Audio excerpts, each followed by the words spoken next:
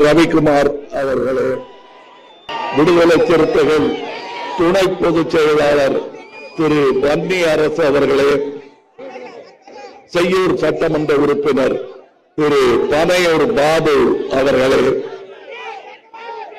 மக்கள் நீதி மையம் கட்சியின் நிர்வாகிகள் தொண்டர்கள் தோழமை கட்சிகள் மீடியா காவல்துறை அனைவருக்கும் என் வழக்கங்கள் சிஏஏ மசோதாவை ஏன் எதிர்க்கிறோம்? இங்க வரும்போது ஒரு ரெண்டு தமிழ் மழலை தமிழ் பேசுறீங்க. நன்றி. அந்த மாதிரி வந்தவரை வாழ்த்தும் பழக்கம் எங்களுக்கு உண்டு.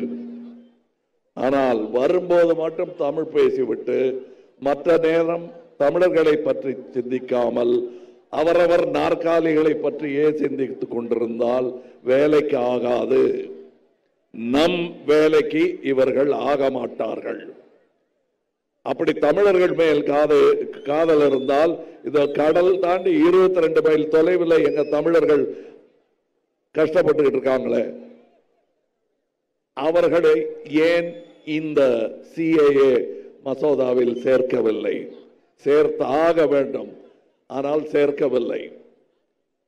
அவர்கள் வந்து ஒரு மதத்தினரை குறிவைத்து தாக்குகிறார்கள் என்று ஒரு எண்ணம் இருக்கிறது. அதுவும் உண்மைதான். அதைவிட பெரிய உண்மை சமத்துவம் அவர்களுக்கு பிடிக்காது. அதனாலேயே இந்த விமர்சன குரல் எழுகிறது. என்றாக இருந்தாலும் அது எழுந்தே தீரும். ஆண்டுக்கு ரெண்டு கோடி ரூ- வேலை வாய்ப்பு தரேன்னு சொன்னாங்கல்ல? இவ்வளவு பேர் நிற்கிறீர்களே இளைஞர்கள். எத்தனை பேருக்கு அவங்க வேலை போட்டு கொடுத்தாங்க சொல்லுங்க. இப்படித்தான் கை ஆடுது இப்படி எந்த கையும் உயரவே இல்லை. சகோதர சகோதரிகள் எல்லாருக்கும் நிகழும் இளம் சகோதர சகோதரிகள் எல்லாருக்கும் நிகழும் சோகம் இது. முப்பது லட்சம் பணியிடங்கள் கவர்மெண்ட்ல இருக்கு. அதை செஞ்சிருந்தாலே கொஞ்சம் கவலை நீங்கி இருக்கும். அதையும் செய்ய மாட்டார்கள். சுய தொழில் செஞ்சு பொழைச்சிக்கலாம்னா அதையும் பெரிய பெரிய கார்ப்பரேட்டுகளுக்கு தாரை வார்த்து கொடுப்பார்கள். அப்படி இருந்தால் இந்த நாடு எப்படி உருப்படும்?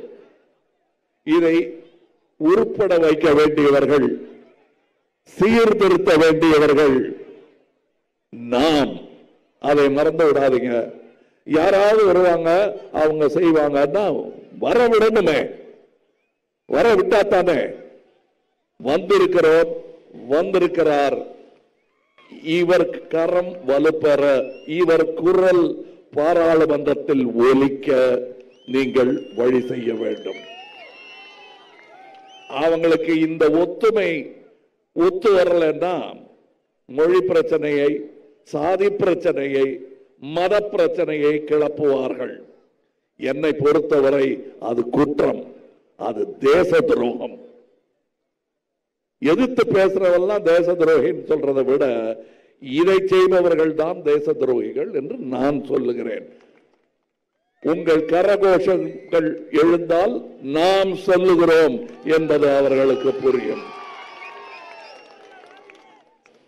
இப்படி ஜாதி மதம் என்று சொல்லி நம்மளை பிரிப்பார்கள். அவங்களை பொறுத்தவரையில் நம்ம வந்து மனித முகங்கள் கிடையாது. ஓட்டு எண்ணிக்கை. அவ்வளவுதான். அந்த ஜாதி வழியாகவும் புரியல மதம் வழியாகவும் புரியலன்னா கவர்னரை அனுப்பி இடைஞ்சல் பண்ணுவாங்க. அந்த இடைஞ்சல் என்னங்கிறத இங்க மாண்புமிகு அமைச்சிருக்கிறார் அவரை கேட்டா சொல்லுவாரு. கேட்டு திறந்தாலும் பூசாரி விட மாட்டாரு. அந்த பூசாரிகளை பல மாநிலங்களுக்கும் அனுப்பி வைத்திருக்கிறார்கள். அப்படியும் பலிக்கலையா? இடி ரைடு இருக்கவே இருக்கு. பெரிய தேச துரோகம் என்று நான் சொன்னேனே அந்த பட்டியலில் இன்னொன்றையும் சேர்க்க வேண்டும். அந்த குற்றம் அதை நான் மட்டுமே சொல்லவில்லை. வெளி நாடுகள் நம் நீதிமன்றங்கள் சொல்கின்றன. எலக்டோரல் பாண்ட் எனும் ஒரு திட்டம் அது சதி திட்டம் என்றே சொல்லலாம். அதை போட்டுவிட்டு அதில் நல்ல மரத்தையே மொத்தமாக குத்தகைக்கு எடுத்துக்கிட்டு அவங்களும் அதில் ஏறி உக்காந்துக்கிட்டு கொக்கி கூடையெல்லாம் வச்சு எல்லா பழமும் விழுந்துடாமல் ஒவ்வொன்றா பறிச்சுட்டு அப்படியே ஒன்று ரெண்டு பழங்கள் விழுந்தால் அந்த பழத்தை பொறுக்கி எடுக்கலாமா வேணாமான்னு யோசிக்கிறதுக்குள்ள அடோ சுட்ட பழத்தை திருடித்தான் சுட்ட பழத்தை திருடித்தான்னு ஔவையாருக்கு முருகன் சொன்ன மாதிரி மரத்தை மேலே உட்காந்து கத்திக்கிட்டு இருக்காங்க. இந்த சட்டம் போட்டத நீதானே? ஓ நீன்னு சொல்லிட்டேனோ? தப்பு. நீங்கள் தானே அதாவது அன்பு மிகுதியாலும் வெறுப்பு மிகுதியாலும் ஒருமை வந்துவிடும். ஒற்றுமையும் வந்துவிடும். மறந்து விடாதீர்கள். என்ன மேல பார்த்து சொல்றாருன்னா தான் மேல இருக்கிறதா நினைச்சிட்டு இருக்காங்களா? அவங்கள கீழே இறக்கணும். அதுக்காக மேல பார்த்து சொல்றேன்.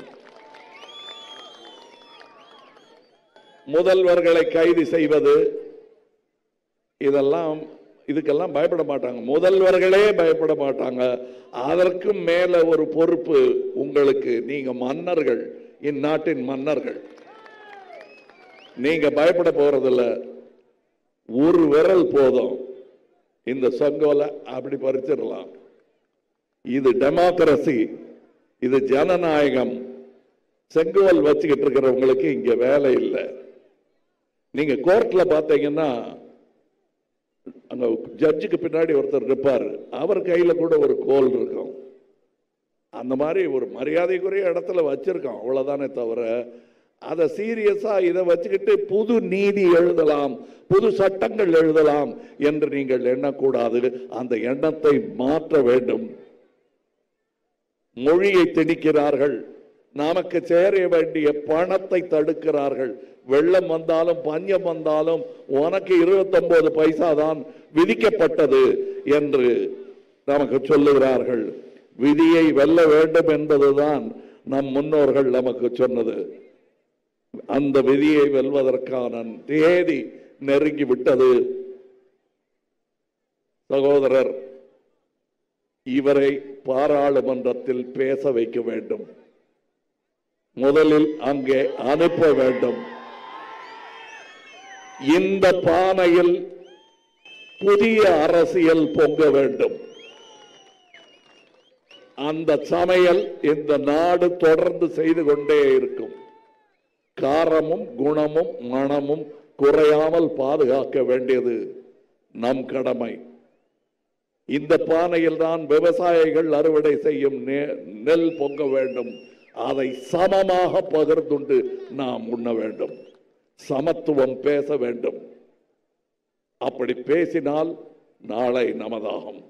இந்த செய்தி அனைவருக்கும் சொல்கிறேன் பூடகம் ஒன்றுமில்லை. சூட்சமம் ஒன்றுமில்லை என்னுடைய சகோதரர்கள் பொறுமையுடன் இது நம் வேலை நாளையும் நம் வேலை என்று நம்பிக்கொண்டு இவருக்கு தோள் கொடுக்க இங்கே அமைதியாக வந்திருக்கும் மக்கள் நீதி மையம் தொண்டர்களுக்கும் அதை சொல்லுகிறேன். இதை செய்தால் நாளை நமதாகும். நாளை நமதை.